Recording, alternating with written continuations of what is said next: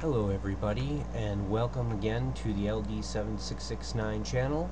Today I'm just going to do a quick rundown on uh, Play on Linux. Uh, of course with Linux having so many distributions there's a lot of uh, uh, justification and ideas on what is the best version of Linux to run for Play on Linux. I would suggest Ubuntu 14.04 because it has the best setup for it.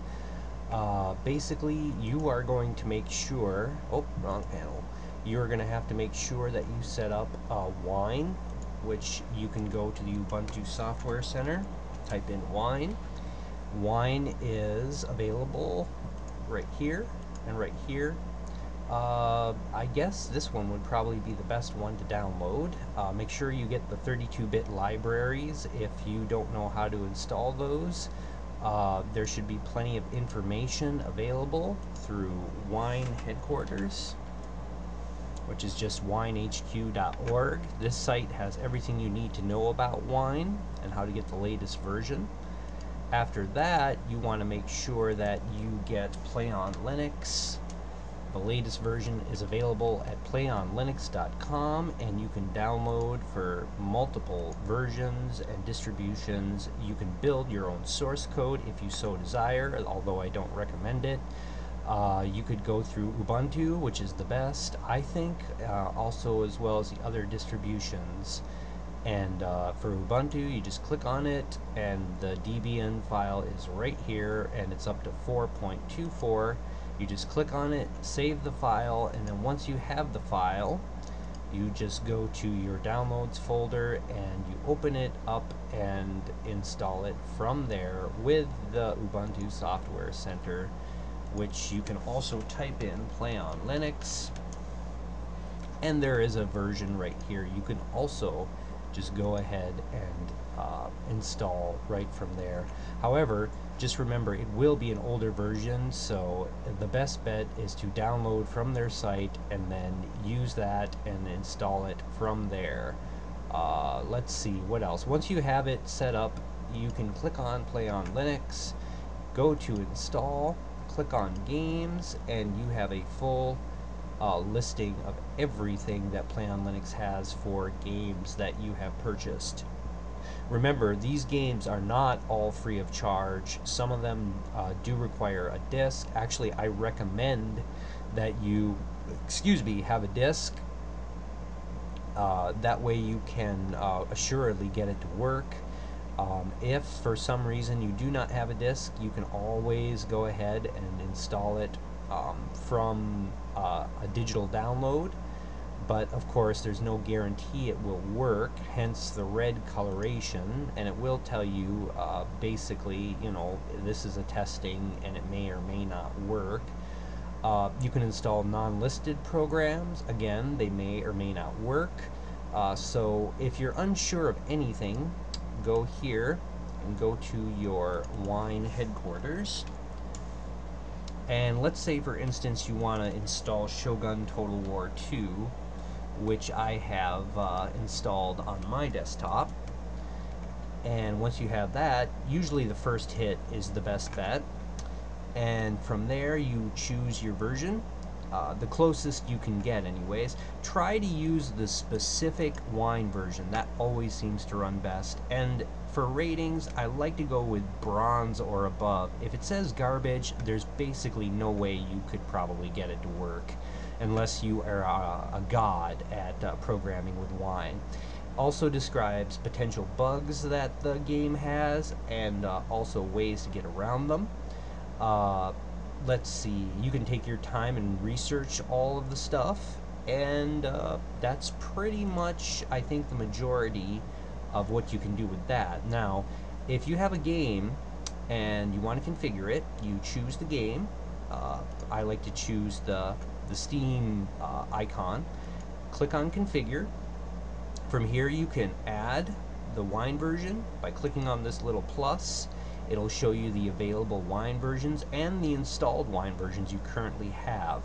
When I click on it and I choose this, it'll add it to the installed. Remember, this is 32-bit, this is 64-bit. Now, as you notice, there is not much in the 64-bit folder. That's because certain games were built a little while back and are more akin to the 32-bit. Most people recommend going 32-bit for uh, for wine, but if the game is brand new, uh, you're more likely to want to use the 64-bit. Now, if there is any other things you have to set up, uh, you can set up a new shortcut for it. You can put in debug flags if you know what that's about, arguments. Here you can configure the wine, and it takes just a moment for it to load, and it should pop up for us. And from here, you can go through and put in your overrides, basically things that need to be set up for it to work. You can also enable a virtual desktop, which I do recommend for certain games. You want a virtual desktop, otherwise it will not work. Uh, capture the mouse is always a good idea, otherwise your mouse won't work properly.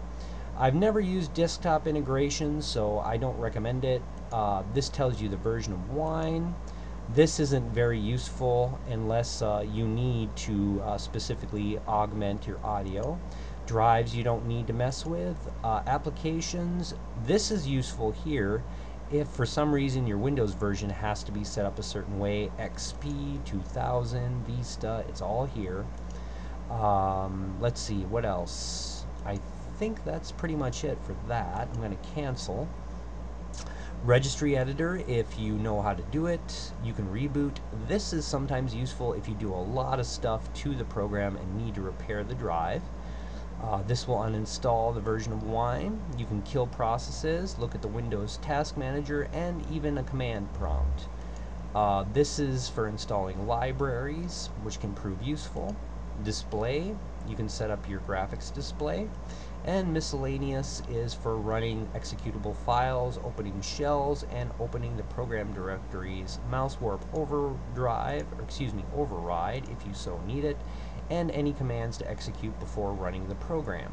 Now, given all that stuff, how easy is it to run this? Well, it took me a little bit of time to set up Mass Effect 2, but I'll go ahead and show you how this works. We'll go ahead and run it just so you get a taste. Um, once everything is set up properly, and since it's a Steam game, it's got to download and upload Steam, which takes not long at all. It'll take less than half a minute, perhaps. And it'll probably, yep, crash. Just cancel that and let it continue to the thing. Sometimes Play on Linux will complain and whine, but the game still works fine. Uh, go ahead and close out this, go to your library, go to Mass Effect 2, choose play, choose play, choose play, and we'll minimize that. And we should, within a short amount of time, have our game. And as you can see, it works great.